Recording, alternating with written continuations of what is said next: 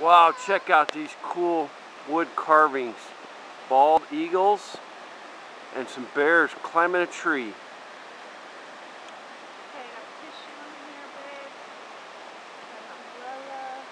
Right here along the river.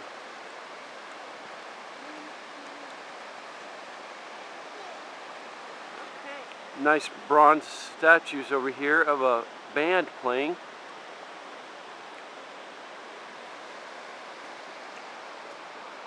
Cloudy today, but at least it's not raining. There's the lodge area there.